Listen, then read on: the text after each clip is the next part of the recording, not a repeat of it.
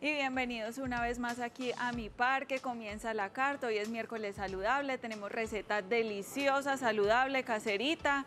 Y para eso nos está acompañando una amiga ya de la casa, una chef con todas las de la ley, que es María Ladi Andrade. María, bienvenida. Qué rico que estés aquí. Hola, Cari, ¿cómo estás? Muchas gracias. Tan linda. María, qué rico que viniste. Contanos qué nos vas a hacer hoy. Bueno, hoy vamos a preparar una receta que es deliciosa, que nos va a servir para la Navidad. Se acercan estos días especiales y vamos a preparar esa exquisitez para ustedes.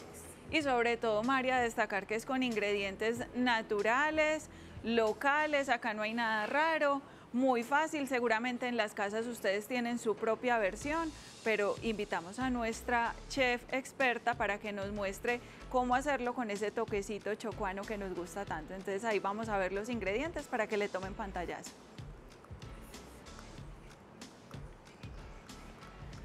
Para nuestro cañón de cerdo con salsa de miel mostaza vamos a necesitar dos medallones de cañón de cerdo, también se conoce como lomo de cerdo, sal, comino, sal de ajo, pimienta, ajo machacado, una cucharada de aceite de oliva, un cuarto de taza de mostaza, media taza de miel, una ramita de tomillo seco y una hoja de laurel.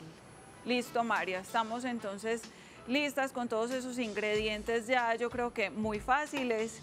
Eh, se me ocurre que de pronto ahí lo más complicado es ir por el cañón a la, a la carnicería, porque de resto yo creo que todas las especias, la salsita de mostaza, la miel, uno como que mantiene eso en la alacena. Todos los ingredientes están al alcance de todas nosotras porque son cositas básicas que todas tenemos en nuestra cocina. Entonces vamos a empezar con el cañón y acá tenemos la paila ya caliente. María, me habías contado que habías adobado el, el cañón para ya pues como que agilizar en nuestra receta. Contanos cómo lo adobaste. Así es, Cari. Como el tiempo acá es oro, entonces trajimos este paso adelantadito. Aquí lo que le, agregamos fue el comino, la pimienta, la sal de ajo y el ajo machacado y luego lo revolvimos porque esto se puede hacer un día antes. Listo, entonces desde la noche anterior en una coquita hermética Bien eh, y listo. Y listo. Listo, María. Ahora lo que vamos a hacer es agregarle un poquito de aceite de oliva a la paila y lo vamos a poner ahí. Ya la paila está caliente y vamos a poner dos. El tamaño también es a gusto de ustedes. Vamos a poner ahí dos medallones. María, a mí también me gusta mucho cocinar el cañón para la Navidad, pero de pronto a veces la queja de la gente es que se cansan masticando porque es muy seco y suele quedar durito. ¿Cuál es tu truco para que nos quede como jugosito, gustoso, que no se seque tanto y que pues que no nos cansemos tanto masticando? Bueno, el, generalmente es cómo lo cocinamos. Cocinarlo poquito es la clave, dejarlo aliñadito con tiempo también lo ablanda un poquito y la salsa que le agreguemos. El cañón sabe a lo que le agregamos. Es correcto. Por eso es muy bueno siempre hacer el cañón con salsita, para que quede un poquito más húmedo. Bueno, y yo creo que también cuando uno lo hace en horno, tiene que tener como ciertas precauciones de meterle como bastantes jugos, de pronto como en ese en esa sazón. Eso huele tan rico, María. y Para que no se seque mucho, ¿cierto? La clave es que no se seque mucho. Si lo vamos a hornear, es muy bueno envolverlo o taparlo, porque generalmente en los hornos se seca y en la paila dejarlo tres minuticos por un lado, tres minuticos por el otro y taparlo para que suelte juguitos. Bueno, yo veo que ahí tenemos full potencia, lo dejamos así, le bajamos calor. lo dejamos así. Listo, María, ¿qué Y nos vamos a ir a hacer la salsa y el acompañante. De una. Entonces, tú me vas a colaborar, Cari, Por supuesto. porfa. Vamos a pasar todo esto para acá. Aquí tenemos nuestra tablita. Vamos a ir picando allí, como tú te, como quieras. Puedes picar del tamaño que desees. Listo, María, ¿me prestas porfa un cuchillito? Sí, está por aquí. Estaba en algún lado, fíjate a ver si de pronto está en tu bolsita. Estaba en algún lado. Y de pronto, María, pues no sé, el, el recomendado es acompañarlo con ingredientes como muy frescos, con una ensalada, ojalá como de que no sean las cosas salteadas, sino más bien frescas, ¿cierto? Así es, más bien fresquita. Mientras Karina me va picando allá todo lo que vamos a hacer para la ensaladita, entonces yo voy a ir haciendo acá la salsa. Vamos a preparar una salsa de miel mostaza. Listo. María, a mí me gusta como dejarle al pepino como unas veticas para Que que se vea así. ¿cierto? Queda mucho más bonito, Cari.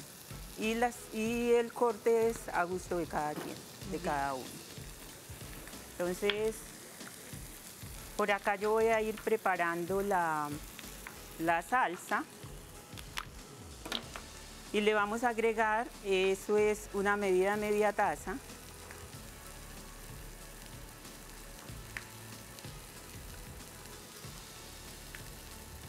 De miel María y hemos visto pues acá en mi parque en Alacarta que hemos tenido diferentes invitados que manejan miel y nos han enseñado que la buena miel eh, incluso se cristaliza y que eso no es pecado pues, o sea, uno fácilmente la puede meter al microondas o al baño María y, y le saca pues como de nuevo esa característica de ser líquida porque a veces sí eh, se nos cristaliza. Sí, nos dicen que, que cuando la miel se cristaliza es que no es buena, pero sigue siendo buena. Lo que pasa es que Sí. dependiendo de la cosecha de la miel, se va a cristalizar a veces y otras veces no. Lo que le estamos agregando aquí a este cañón, que ya le vamos a dar la vuelta, es un poquito de tomillo y un poquito de laurel. Esta hojita de laurel quebradita y ya está. Y la idea, María, me imagino, es que después se retira fácilmente. Sí, hay que echarlo gruesito para poderlo retirar cuando ya el cañón esté. Mira, vos que tenías miedo con el aguacate y nos salió tan bueno. Amén. Nos salió buenísimo. María, ¿tenés por ahí de pronto una cucharita para sacarlo más fácil? Y miren cómo va el cañón, ya le dimos la vueltecita Gracias. y vean cómo está, ya está sellado por este lado y lo vamos a dejar que se selle por el otro. Y estas ramitas de tomillo se las vamos a agregar ahí también para que suelte todas esas aromas. Acá habíamos agregado media taza de miel, lo que hicimos fue retirarla del fuego para que no se nos vaya a quemar y ahí vamos a agregarle un cuarto de taza de mostaza, que la tengo por aquí. Y es que yo creo, María, que también esas carnes de cerdo vienen muy bien como con sabores dulces. Sea una salsa, no sé, como de frutas, se me ocurre maracuyá o de pronto mango, eh, la miel mostaza, o sea, algo como que tenga un toquecito dulce.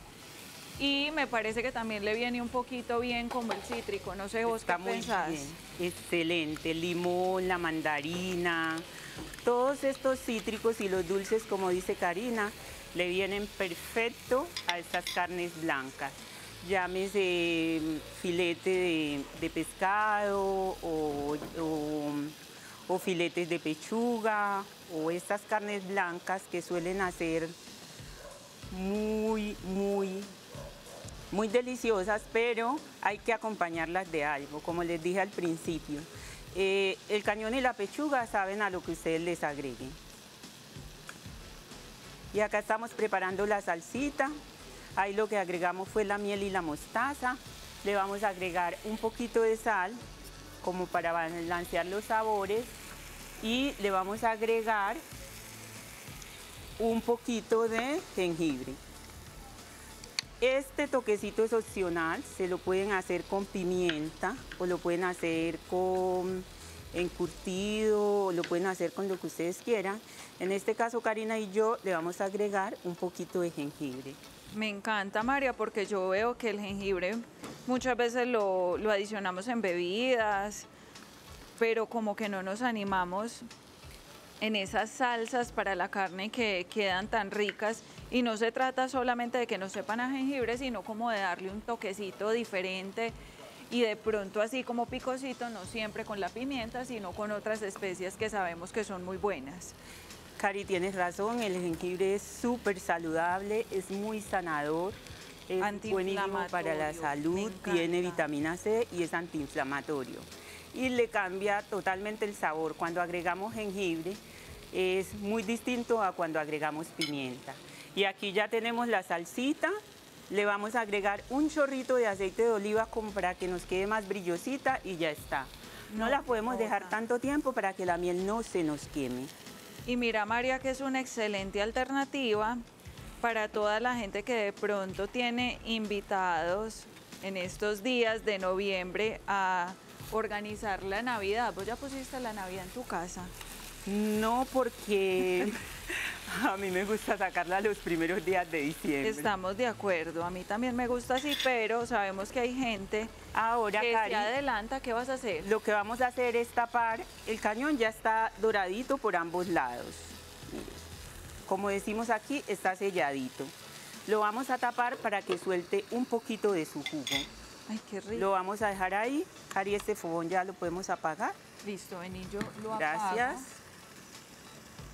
Y de verdad que ustedes no se imaginan a lo que huele esta cocina tan delicioso. Bueno, María, yo te cuento qué he hecho acá de la ensalada. Voy para allá. Eh, piqué el pepino, le agregué aguacate, le eché tomatico y estoy haciendo un poquito de, de perejil picadito como para que le dé esa frescura que buscamos. Y ahora lo que le vamos a agregar es este pimentón en lajitas. Lo vamos a hacer así en lajitas que también vemos que el pimentón lo consumimos mucho, es cocinado. Y mira que se puede así fresco, o si usted quiere le da una cocinadita rápida, pero queda muy rico en la ensalada también. Así fresquito es muy bueno. ¿Qué es lo que yo hago? Antes de agregarlo a la ensalada, eh, le agrego un poquito de limón. Mm, qué buen truco. Y un poquito de sal porque eso lo ayuda a ablandarse un poco. Listo. Entonces le vamos a agregar salecita, Cari, y con la mano. De una. Así. Lo masajeo. Exacto, le haces como un masaje. Listo. Y lo agrego y queda súper chévere la ensalada. De verdad que me encanta. Aquí ya esta ensalada está. Voy a terminar este aguacate, aprovechando que salió tan bueno. Cari, ¿te quedó?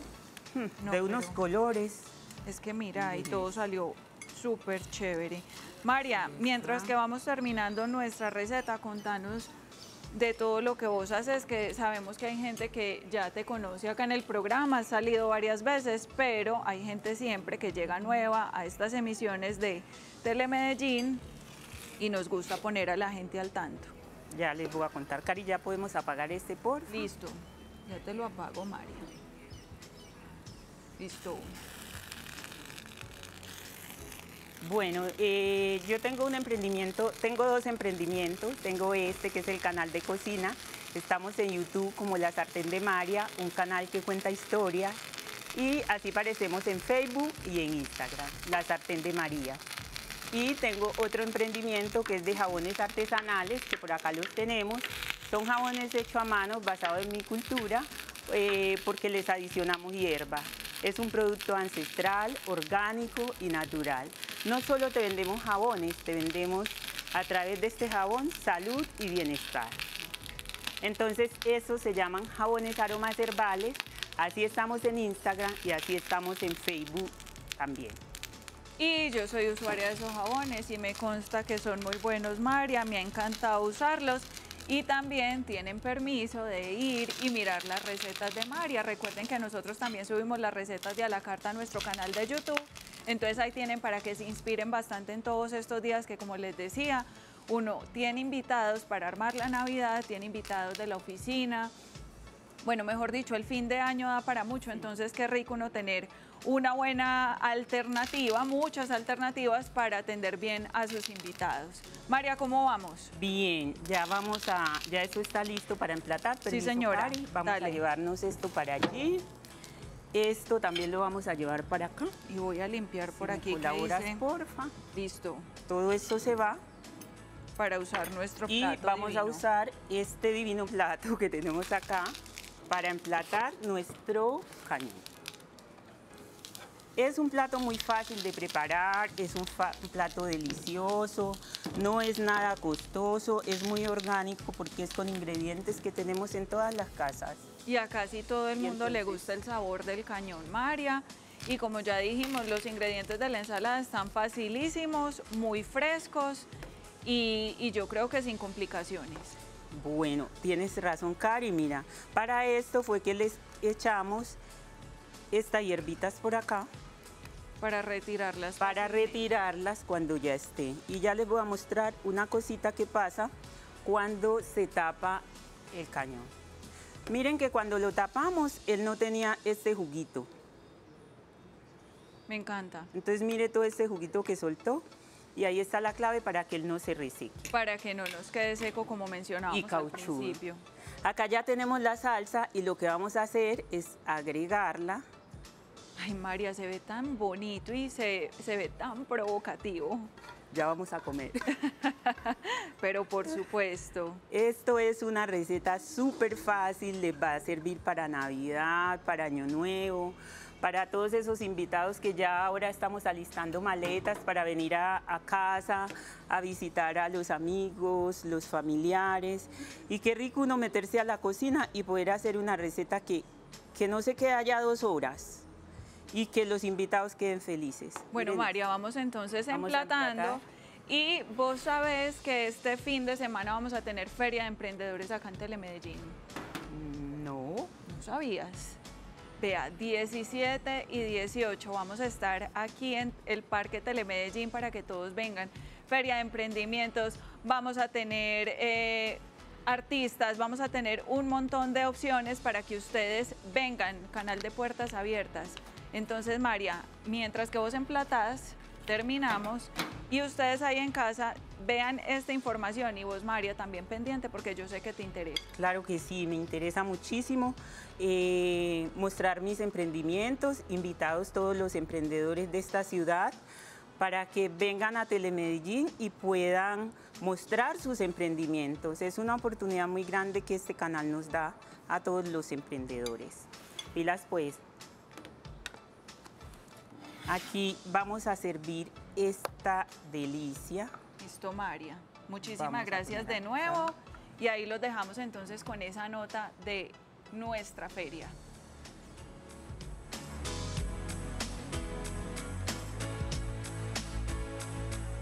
Ven, ven, ven. Ven a nuestras almas. ¿Sabías que en Telemedellín adelantamos diciembre para que vengas a disfrutar en el Parque Gabo con toda la familia? El viernes 17 y sábado 18 de noviembre podrás disfrutar desde el mediodía de música, villancicos, oferta gastronómica y la cuarta feria de emprendimiento de Telemedellín. La entrada completamente gratis. No te la puedes perder. Y lo mejor, habrá shows musicales y la transmisión del programa Mi Parque el viernes y el sábado de la Viejoteca. Vamos a darle la bienvenida a la Navidad. Acordate pues, estamos en la carrera 43F, número 1860, El Poblado. En Telemedellín, aquí te ves.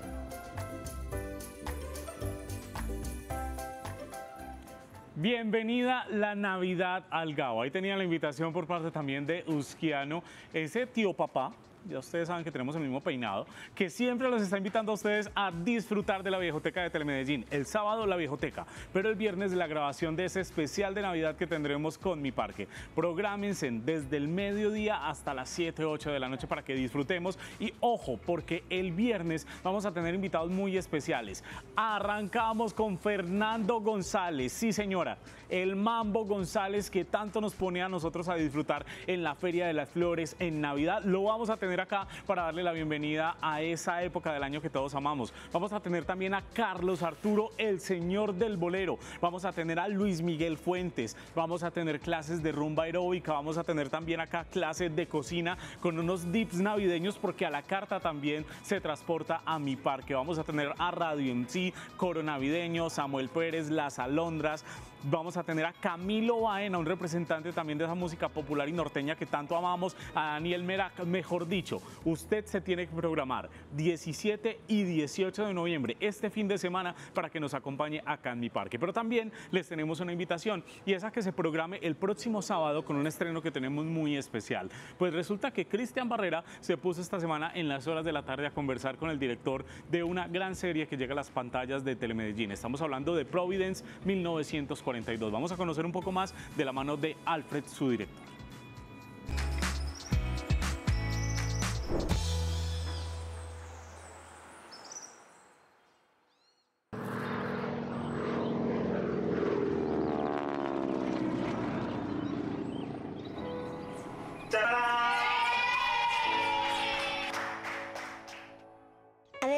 Thinking the whole day. Is to your papa? My papa. I never seen back at all. Sorry for that. Continuamos acá en Telemedellín y para nosotros no hay nada que sea más gratificante que tener la posibilidad de entregarles a ustedes, nuestros televidentes, la posibilidad no solamente de la TVs en la ciudad, sino de irnos a otras latitudes, de irnos a otros lugares y por eso nuestra parrilla se abre para darle la bienvenida a una serie que nos viene a hablar a nosotros de algo muy especial y es precisamente la cultura isleña, una cultura que también tiene unas raíces muy especiales en esa población NAR cuando hablamos de los negros afrocolombianos raizales y palenqueros. Y por eso me acompaña precisamente Alfred, su director el día de hoy. Bienvenido a Telemedellín, gracias por estar con nosotros y gracias por esta serie que venía a nutrir también nuestra pantalla. Bueno, es un orgullo para mí estar acá, muchas gracias por la invitación y por la oportunidad de poder venir a hablar de nuestra cultura raizal. Hablemos desde ahí, Alfred, porque sin duda, digamos, para nosotros entender un poco qué es lo que ocurre dentro de la serie, pues primero tenemos que entender qué es la cultura raizal, por qué se da, por qué estamos en este caso viviendo una serie que fue elaborada precisamente en Providencia. Eh, bueno, eh, realmente allí hay un pequeño truco, eh, inicialmente para aclararlo. La serie fue rodada en la isla de San Andrés, es una historia eh, digamos, enmarcada en la isla de Providencia, sin embargo, por las características de logística y de infraestructura, eh, salía mucho más, eh, mucho mejor grabarla en la isla de San Andrés sin que esto le quite a, la historia ni, a, lo que sucede en ella. bueno, una de las principales características de nuestra cultura raizal es la diferencia en nuestra lengua, nuestra lengua materna que es el criol. Si bien ahorita el 90% de la población habla también español. Eh, nuestra lengua cultural, históricamente, pues, es el criol. Muy bien, y cuando hablamos precisamente de la lengua, estamos hablando no solamente de la posibilidad de preservar un dialecto, sino también todo el mensaje y toda, digamos, como la información que hay. De hecho, cuando nosotros miramos a una Colombia que sabemos que existían más de 165 lenguas autóctonas en los pueblos nativos y uno empieza a ver cómo esas lenguas se van perdiendo y se pierde el conocimiento de las plantas y se pierde el conocimiento o la relación que tiene con la naturaleza, uno dice, no, piras que acá hay algo. Y ustedes se dan entonces a la tarea precisamente a través de diferentes productos audiovisuales, tratar de rescatar esa cultura y de finalmente nosotros también digamos como que seamos conscientes, pues no sé acá en Medellín cuántas personas tengamos que pertenecen a la población raizal o cuántas personas digamos se han dado la tarea de estudiar, de, de entender un poco lo que ocurre, pero sin duda Alfred es la invitación y es la invitación también a ver esta historia y a ver la cultura desde la mirada muy especial de un niño de 10 años. Empecemos a hablar ahora sí de Providencia 1942. ¿Qué ocurre? ¿Por qué ese nombre? ¿Por qué tiene 10 años el protagonista? Eh, bueno, es eh, primero aclarar que esta es una historia de ficción y está, pero sí está enmarcada en unos hechos reales históricamente que fueron eh, en aquella guerra en 1942 cuando había una guerra en el mar Caribe eh, y en la cual estuvo involucrado un par de embarcaciones de las islas de San Andrés y Providencia, eh, viéndose afectadas por bombardeos y esto. Entonces, en el marco de esa historia real, nosotros creamos esta historia de Providence 1942 y, como tú lo decías, es la historia de un niño que admira mucho a su padre, un capitán de un barco que en este entonces eran las goletas, eh, y tiene una larga espera porque en uno de esos viajes precisamente sucede uno de los bombardeos y, pues bueno, eh, allí es una larga espera, como tú le decías, desde la mirada del niño, desde acá, desde su realidad, desde la isla de Providencia.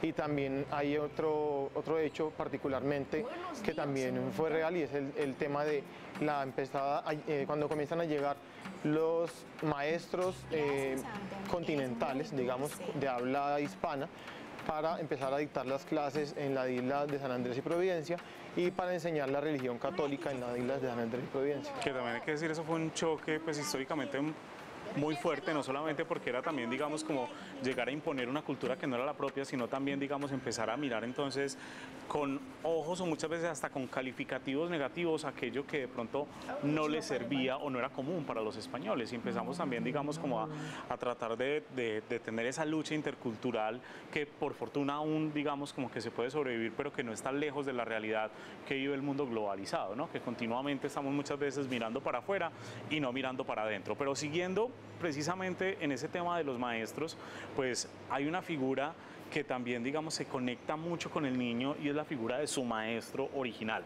Antes de ese cambio, que no les voy a dar acá mucho spoiler, pues no les voy a contar la historia para que se la vean, pues obviamente, pero sí finalmente, digamos, como que es como si ese maestro también tuviese una especie de metáfora paterna en el niño. Claro, es una, como una figura en la cual él, eh, digamos, aprovecha para ganar ese conocimiento y esa experiencia que, que, de cierta forma, por medio de las enseñanzas de su maestro, puede ir adquiriendo en el momento de ausencia de su padre, porque él quiere ser, digámoslo de una forma, ser digno hijo de uno de los mejores capitanes de la isla de Providencia. Entonces es allí donde él se refugia, como en ese acompañamiento del maestro, por sus conocimientos de la navegación. Y se empieza a ir también por ese mundo de la navegación hay un momento que, digamos, ustedes, finalmente los expertos en todo el tema audiovisual, lo llaman esos giros dramáticos que se da a partir de ese cambio en donde el niño también empieza a generar problemas en su parte académica, en su escuela, se conecta entonces con la playa, haciendo la playa también, digamos, como ese refugio para él. Y bueno, pasan un montón de cosas que la invitación es a que ustedes se conecten. Sábado, 8 de la noche, gran estreno, ¿cierto? Claro que sí, todos invitados. ¿Por qué tenemos que hacerlo, Alfred? Porque debemos no, eh, digamos, como ver esta serie, estar pendientes de todo lo que ocurre alrededor bueno, de este pequeño? Eh, creo que lo más importante de esta serie, bueno, eh, aparte después del tema que es una historia de ficción eh, muy linda, unos personajes eh, muy bien logrados, está toda o la mayoría está hablada en criol, tiene subtítulos al español para que todos los de habla hispana podamos entenderla y es una pequeña muestra de qué es lo que somos eh, internamente nosotros en nuestra cultura. Para muchas personas que, aunque ya han ido más de cinco o seis veces a la isla San Andrés, de pronto no lo conocen, no han tenido la oportunidad. Hay muchas manifestaciones culturales muy lindas en, nuestra, en nuestro archipiélago que vale la pena que las conozcan. Además también hay que decirlo acá, pues que sea la invitación para que generemos conciencia alrededor también del turismo responsable y de ese turismo que va mucho más allá de estar en un resort, de estar en un hotel, de ir a una playa, de ir a una piscina, sino que tengamos la posibilidad de realmente tener ese turismo inmersivo que llaman de llegar a la cultura, de conocer las personas, de hablar y de, ¿por qué no?, también tratar de ayudar en las problemáticas sociales que pueda tener no solamente en este caso las islas, sino cualquier lugar. Yo creo que esa es la invitación que deberíamos dejar. Claro, eh, así es. Yo creo que después de ver la serie, las personas que vayan a la, la isla de San Andrés seguramente van a querer buscar algo de esta cultura que, que, vieron allí en la serie y que no la habían visto en las, sus anteriores visitas a la isla. Alfred, si yo quiero conectarme más con la serie, es decir, si yo quiero ver no solamente esos tres capítulos, porque también hay que decirles la oportunidad para que ustedes en cada uno de esos 30 minutos que tendremos se pueda conectar y pueda entender un poco no solamente sobre la cultura, sino sobre la historia de este niño, pero si yo quiero saber más de lo que ustedes realizan, de lo que ustedes producen, ¿dónde los encuentro? Porque me dicen que no solamente existe Providence 1942, sino muchas otras. Claro, eh, nosotros somos una productora de la isla de San Andrés que, como les decía, nuestro principal objetivo es siempre mostrar nuestra cultura hacia el mundo y hacia el resto del país y hacia todo el mundo. Eh, en Instagram estamos como Native Film Site, eh, allí nos pueden encontrar y allí están de, varios de nuestros contenidos. Muy bien, ya saben ustedes entonces, y también son personas nativas que nos acompañan en la ciudad de Medellín, qué chévere que vayan, aplaudan, comenten y estén pendientes de las redes sociales también de Telemedellín porque les estaremos compartiendo parte de ese contenido que precisamente esta casa productora nos regala por lo pronto, Alfred, muchísimas gracias una vez más. Gracias a todos los televidentes y una vez más la invitación para que no se pierdan este próximo sábado el estreno a las 8 de la noche. Bueno, muchas gracias. Nos vemos.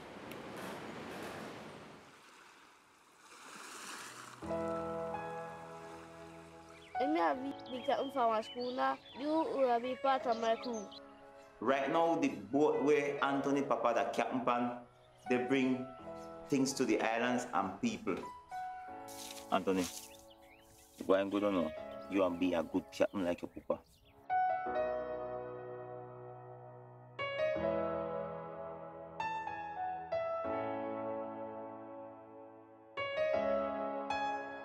I will not see Papa the bad. No worry, baby, no worry. Your papa always come back home.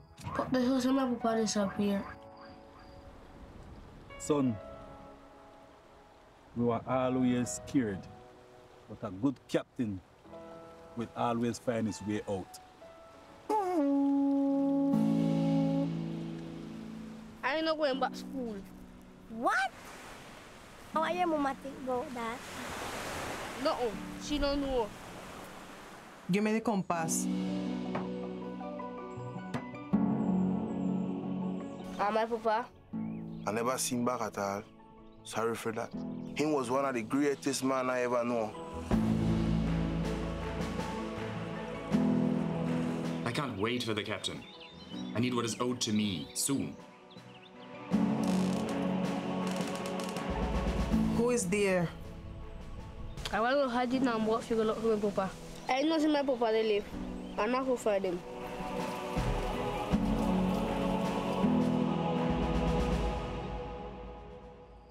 I keep the compass near your photo. Make you remember the road to come back home. We love Anthony.